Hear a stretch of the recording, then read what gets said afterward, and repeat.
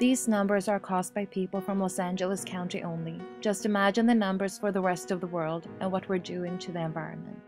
Even though you might be far away from the coast, all trash and pesticides you see will eventually end up in the storm drains that in turn will end up in the ocean.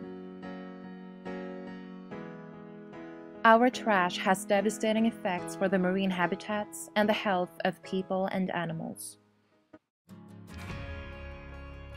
There are, however, easy ways you can prevent this. If you take care of your trash properly by recycling and composting, you can help the ocean.